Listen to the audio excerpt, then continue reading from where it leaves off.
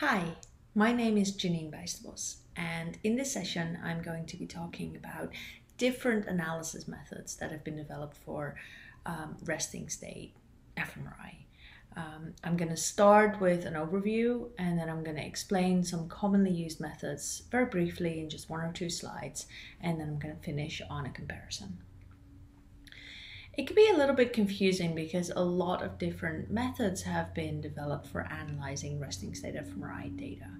Um, here I'm listing just a few of them. This is not an exhaustive list. Uh, these are some of the most commonly used methods, and I've separated them out into two categories. So on the left hand side are what I'm referring to as voxel based methods, which basically just means that the output of these methods is a brain map or multiple brain maps um, meaning that these methods estimate a value for each individual spatial location, so either a voxel or a gray matter uh, uh, coordinate if you're working on the surface. Whereas on the right hand side, for the node based methods, um, the output is not uh, a spatial map because what these methods do is they start by reducing the spatial information um, across the entire brain uh, into a set of nodes um, and then performing the analysis uh, based on the nodes or the connections or edges between those nodes. And so what I'll do over the next few slides is go over each of these um, methods and um, talk in uh, one or two slides, uh, just really briefly summarizing um, how these methods work and then also some of the advantages and disadvantages of each of these methods. So let's start off with seed-based correlation analysis. Uh, the idea here uh, is that you pick one region of the brain. So for example, in the figure, uh, the blue region at the top, which is in the posterior cingulate cortex, uh, and then you extract uh, an average time series from that seed region of interest um, across all of the voxels that are included in the seed. Um, and then you calculate the correlation coefficient for every voxel of the brain with that seed uh, time series. And that gives you a map, as you can see at the bottom here, which is a whole brain map of connectivity or correlation with the region of interest. And this was one of the first um, methods that was used in resting state fMRI. And it's really easy to interpret. It's really intuitive to think about this map as being the posterior cingulate connectivity map, whole brain connectivity map.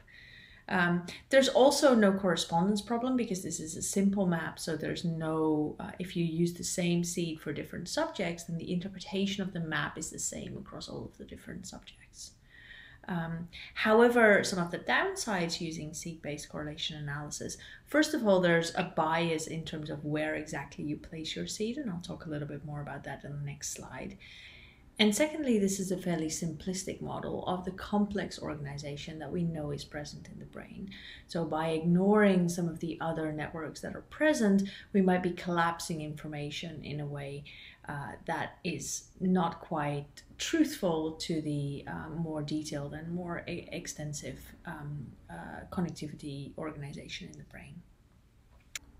So to talk a little bit more about seed selection bias, uh, there have been studies that have shown that even moving the seed around by just a small amount um, can create quite substantial changes in the uh, whole brain connectivity map that you get out of a seed seed-based correlation analysis. And this is an example here. So there are uh, three different seeds that are all in the posterior cingulate cortex, just moved around by a small amount. So these are the circles in uh, green, red, and blue.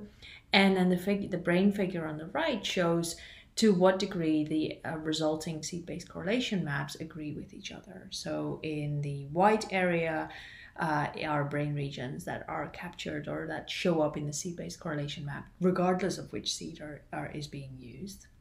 And you can see that there are some white regions, but all of the colored areas show differences between the different seed locations. And so that's really important because it means that uh, it can be difficult to relate the results from your study to results from other studies. Even if those other studies have used very similar seeds, they might not have been in exactly the same location. The second method that I want to talk about a little bit is independent components analysis or ICA um, which is a data driven method that tries to identify or summarize the data set as a whole uh, into a number of different networks, where each network is um, described by a spatial map, as you can see here, and an accompanying time course. And this addresses some of the um, uh, downsides of using seed-based correlation analysis because it's a multivariate approach that um, describes or summarizes the entire data set. And so it really captures the complex organization into multiple different networks as opposed to seed-based correlation analysis. Um, and the other advantage is that if you combine, for example, a group ICA with dual regression analysis, then you can test for differences between subjects or between groups in terms of both the shape of the networks, but also the amplitude or the localized strength of the network. Some of the challenges with using ICA are, first of all, that it can be a little bit hard to interpret because this is a more multivariate and a more complex summary of the data set. It doesn't quite have that simplistic, intuitive um, uh, way of interpreting the results. Um, and the second downside potentially is that this is a fully data driven approach so you don't have control over the decomposition. You don't have control over the way that the that the networks are broken down um, because that's driven by information in the data.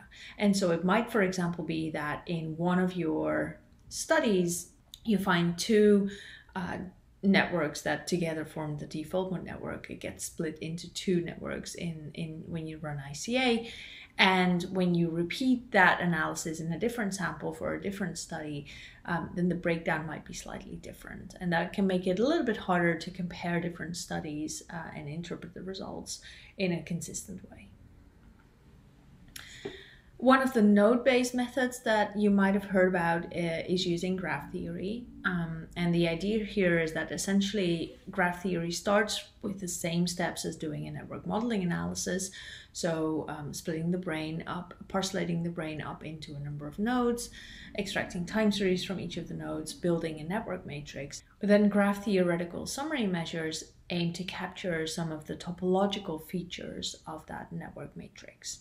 So graph theory measures tend to be single values, either one value for the network for all of the regions and the whole the, for the whole brain, or individual values for, for example, individual nodes, summarizing topological features such as small world principles, uh, minimum path length, clustering coefficient, um, whether a node is a hub, um, the degree of the nodes, um, and the, the advantage of these measures is that they're really, really simple summary measures that capture important features of the um, topological organization of regions and of the, the, the, brain as a whole. And that can be really advantageous if all you want is a simple numerical biomarker. Um, However, there's a couple of downsides for graph theory measures. One of them is that network matrices are often binarized before being able to estimate these summary measures, meaning that there's a threshold of the correlation and everything above that threshold is a connection and anything below that threshold, any edges that are below that threshold are unconnected. Um, this is not by definition the case, but it's often the case um, for graph theory measures, and it runs the risk of losing some information that is present in that um, in those weighted edges. And the second thing is that it can be a little bit difficult to interpret what graph theory measures mean in terms of um, what's what's changing in the brain. So, for example, uh, if if patients uh, have less small world networks than controls, then uh, what is it actually meaning in terms of what's changing in, in the brain? And that can be, it, it, it just means that it's a little bit further away from the data and it can be a little bit harder to interpret. Another node based method that I want to touch on briefly is dynamic causal modeling or DCM. This is a biophysical model that tries to capture neural spiking and convolution with the hemodynamic response function in order to um, predict or model directed connectivity, so causal connectivity from one region to another region. Um, and so some of the advantages are that it um, allows you to draw stronger conclusions. So rather than just functional connectivity, it allows you to say something about the directionality of the connectivity. But some of the challenges with dynamic causal modeling are that in order to draw those stronger conclusions, you have to usually make more assumptions. So for example, you have to assume um, what the shape of the hemodynamic response function is. Um, and also because there are more parameters in the model that have to be estimated, usually that leads to a limitation of the number of comparisons you can do in terms of the model space. Um, and that's okay if you have a small number of nodes and you only want to test a small number of configurations of directions and connections between those nodes. Um, but if you want to do a whole brain analysis, the model space becomes bigger because you have many more nodes and potential connections and directions that you want to um, infer upon and estimate. And so for resting state, this is still somewhat limited, but it would be really exciting if we were able to use this uh, more principled model uh, to draw stronger conclusions about connectivity. This is an overview of several different node-based methods. Um, essentially, the axis in here goes from closeness to the data to being a little bit further removed from the data. Effective connectivity tries to draw stronger conclusions about the patterns that we see in the data relative to functional connectivity, and then graph theory is even further removed in terms of being in terms of describing higher level summaries of the structure in the network. On this slide, I want to show an example of the same data um, being analyzed in two different ways. So on the left-hand side here, we have results from a, a node-based analysis doing uh, network modeling analysis and then looking at which edges differ between subjects with uh, low uh, IQ and high IQ. And on the right hand side, uh, we have results from doing group ICA followed by dual regression. And this just illustrates that depending on the choice that you make for which method that you choose, the way that those results present themselves and the way that you might end up interpreting those results um, might be very different. Um, so on the left hand side, we're looking at pairwise connections between regions and you can see here that I'm highlighting uh, a couple of pairwise connections that differ between these two groups. Um, whereas on the right hand side, we're looking at the shape and strength of network changes. So in um, yellow and orange is the group ICA map that the results relate to.